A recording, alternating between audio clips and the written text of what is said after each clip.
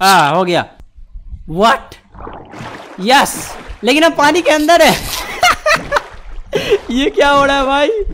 पानी के अंदर कैसे चल रहा है बोट? अपना बोट को कंधा पे उठा के ले जाते हैं, हम बताओ। होगा ऐसा कोई?